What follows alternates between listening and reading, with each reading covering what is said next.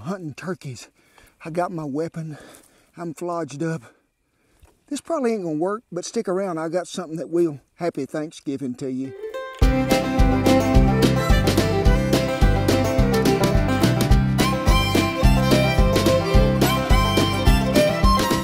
Hey folks, as you can see, the leaves is off the tree, fall is in the air, and turkey time's right around the corner. And I do love me some turkey time. And I'm just gonna start today with about a six and a half pound turkey breast.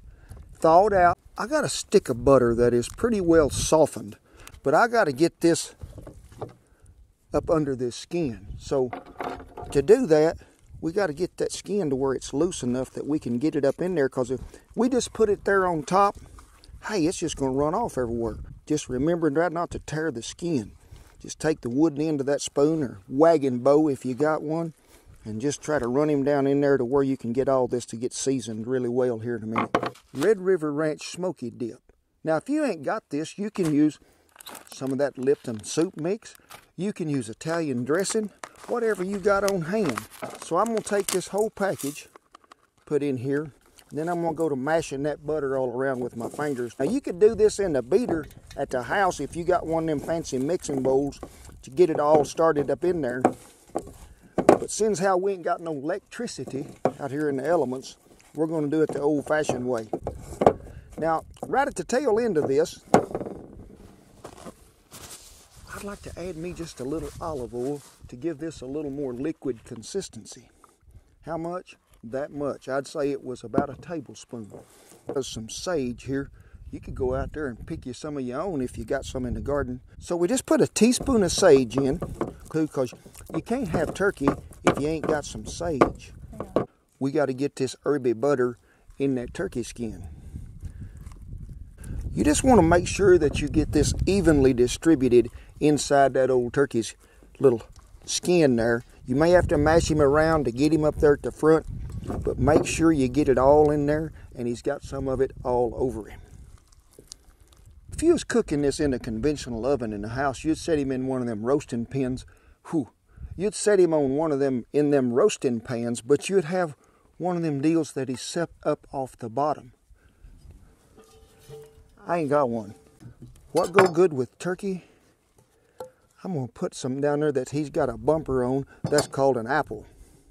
Because you don't want him to set right there on the bottom. If this was an old chuck roast, I'd be using some onions or something like that to set him on. I love to use a Granny Smith apple because he'll stand up a little better to all this punishment this turkey and this Dutch oven going to give him. Four slices of hog meat. Good bacon just lay him across there to where you be sure that that turkey's going to get some some bacon love when he's sitting in there. As we say when we turkey hunting, that turkey fitting to go to roost right there in that Dutch oven. So we're going to grease him up here on the outside a little with just some olive oil. Make sure you get him coated well everywhere. All right, we got that old bird greased up, so it's time to get him seasoned some more on the outside. What are we using? Red River Ranch Original. Now you want to make sure you got him coated all the way around everywhere. This turkey gonna be pretty thick in this 14 inch oven. So right there where that breastbone been split, just lay him out here a little more. Give him a little pull to where he's gonna set down there a little better in the bottom of this Dutch oven. Now you can see if we'd left him the other way, whew, he'd have been trying to jump the lid right off there, he would have. So he got to have a little juice in there to keep him going so we got some chicken broth. I don't want to pour it directly on the turkey because I'll be knocking some of my seasoning off. About an inch and a half deep in here, inch and a quarter.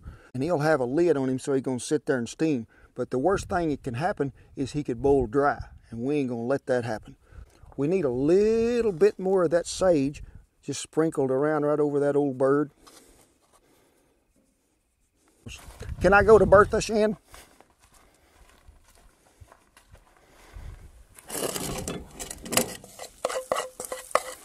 Ooh, yeah. You can see old Bertha done her job on that herby butter she did. I had a little bit of that herb butter left over that we mixed up that Red River Ranch smoky dip and some butter. We sure don't want to waste it none. So let's just let him just fall in there where he might. Guess what? Tell him. Can y'all y'all want to tell him before I do? Night night. You've seen a lot of my videos where I cook something, bake something, fried something, grilled something. This folks is going to be a little different, so stick around. It's fitting to happen. Yeah, it's heavy. You gonna follow me?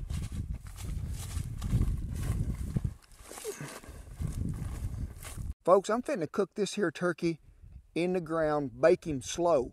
If I try to cook him with just coals underneath and coals on top, that turkey gonna try to burn and it would take a whole lot more wood. When you're baking something and you wanna try to control heat for a long period of time, what you do, grab you one of these PhDs here. I got a good degree in this called post hole digger. We're gonna go about six inch deep on the bottom with coals, put the oven in there, then we're gonna go about six inches of coals on top. And that little red deal that's on them turkey sacks when you're cooking will pop right out and he'll say, gobble, gobble, it's done. Really, it won't, but it'll be about three hours. Hang on. That's about a 20 inch hole, folks, if you're guessing on my measuring apparatus, which is my knee. It's about this much bigger all the way around in a circle than that 14 inch oven.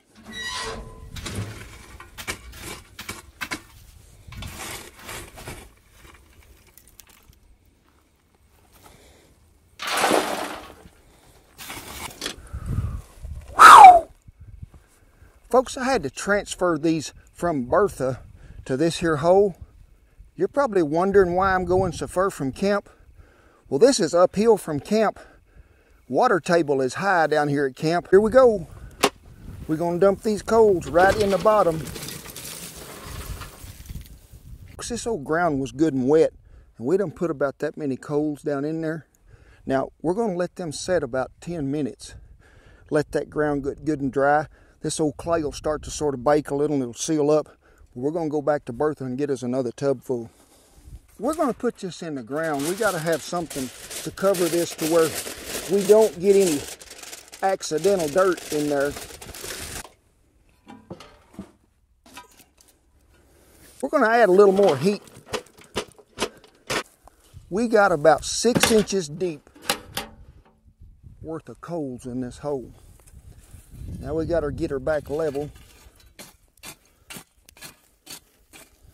The secret to good hole in the ground cooking is make sure you get everything sealed so you're keeping that heat inside. It's a lower temperature because it ain't getting no oxygen.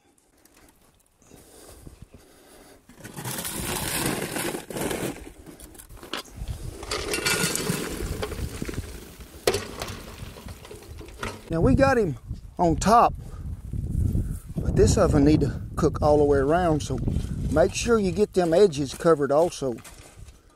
Big, that's hot, buddy. I know you like Thanksgiving, but if I was you, I'd wait a little bit. All right. I'd say the hole was nearly there. Guess what? We are baking a turkey at what temperature? Hell if I know, but it's hot we got to line some foil on top of them coals so that old wet dirt just don't choke it to death. So, and this is really good if you can do it when the wind ain't blowing 60 mile an hour, which is highly unusual that you would find that in Oklahoma today. Make sure you get them edges sealed because we want to keep all that heat in there. If you can see smoke coming out of it somewhere, it ain't sealed good. This ground being that wet and cold, I'm gonna go over to Bertha and get one more shovelful, just lay it right there on top. If the ground wasn't wet and cold, you wouldn't have to do that last step because we got him sealed up good. Ain't no heat getting out nowhere. But seeing as how this is wet, cold dirt, I'm gonna give me one more little insurance plan. The last of it, right there on top, just in case the wind get up, I'm gonna put me a little fire barrier around here. Gobble, gobble, gobble. He's in the hole. We're gonna try to let him go about three hours pretty close to it. Then we'll pull that old bird out there and we'll see what's happening. Well, it has been three hours and 22 minutes since the turkey crawled in a hole and buried itself.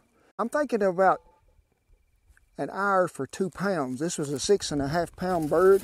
So we're going to try to get some of this out of here to where we can get to that tin full.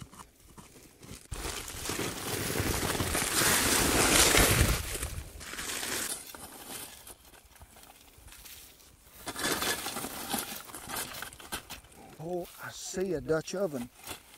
Could be one Coronado left in here many years ago. I just hope hope he left the turkey in there.